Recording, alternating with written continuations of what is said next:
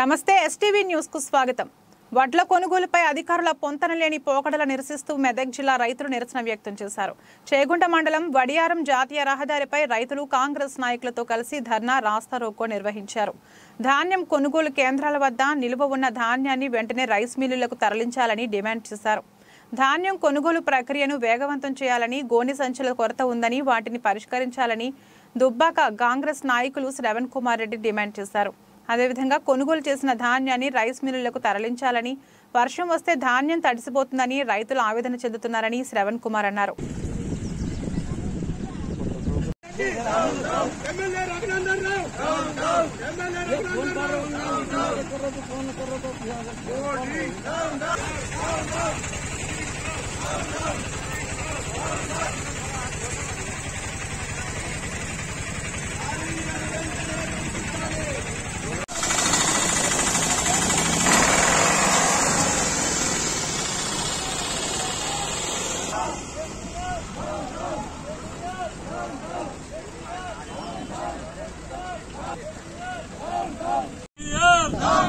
కేసీఆర్ హరీష్ రావు హరీష్ రావు హరీష్ రావు.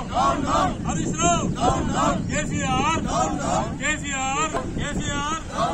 కేటీఆర్ కేటీఆర్ కేటీఆర్ కొత్త ప్రభాకర్ రెడ్డి. కొత్త ప్రభాకర్ రెడ్డి. కొత్త ప్రభాకర్ రెడ్డి. కొత్త ప్రభాకర్ రెడ్డి హరీష్ రావు హరీష్ రావు కేసీఆర్ లారీలను పంపించాలి కొనుగోలు కేంద్రాలకు లారీలు పంపించాలి కొనుగోలు కేంద్రాలకు లారీలు కొనుగోలు కేంద్రాలకు లారీలను కొనుగోలు కేంద్రాలకు లారీలను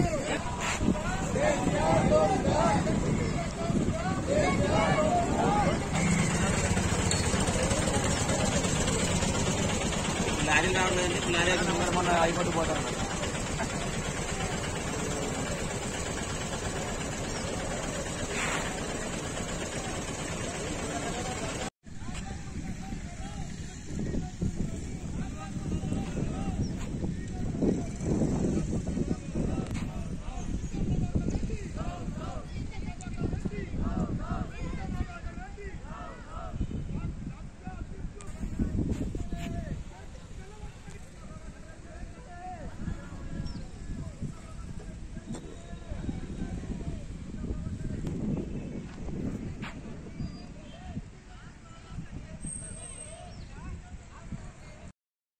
రైతుల పక్షాన ఈరోజు కాంగ్రెస్ పార్టీ తరఫున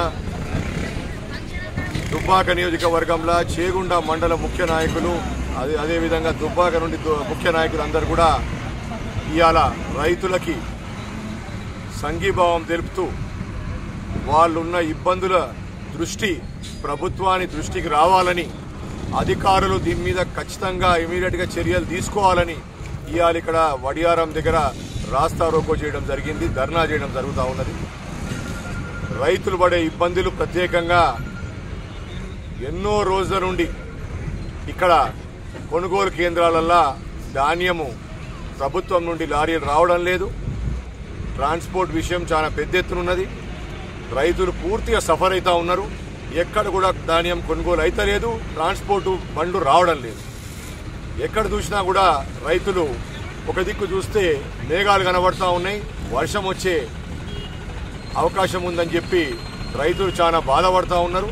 అటువంటి సమయంలో అధికారులు ఎటు పూర్తిగా నిర్లక్ష్యం చేస్తూ ఎవరికైతే ట్రాన్స్పోర్ట్ కలిగియానో రైతులకి ఆ ట్రాన్స్పోర్ట్ ఏజెన్సీ అసలు ఇక్కడ అందుబాటులో లేదు లారీలు రావడం లేదు. అదేవిధంగా సంచులని సంచులు అని చెప్తే ఆ సంచుల సభ్య ప్రత్యేకంగా బాగలేదు. ఏడ చూసినా సంచులలో పెద్ద పెద్ద పొక్కలు ఉన్నాయి. ఈ సంచుల సమస్య అదే విధంగా ట్రాన్స్పోర్ట్ సమస్య. ఇమ్మీడియట్గా దాని మీద దృష్టి పెట్టి రైతులకు ఇబ్బంది కలగకుండా పూర్తిగా కొనుగోలు కేంద్రాలకు వెళ్ళి ఈ ధాన్యం లిఫ్ట్ చేసుకొని వెయిటింగ్ లేకుండా మన రైతులకు ఎటువంటి ఇబ్బంది కలగకుండా ప్రభుత్వం దీని మీద ఇమ్మీడియట్గా దృష్టి పెట్టి వాళ్ళని ఆదుకోవాలని చెప్పి మేము డిమాండ్ చేస్తాము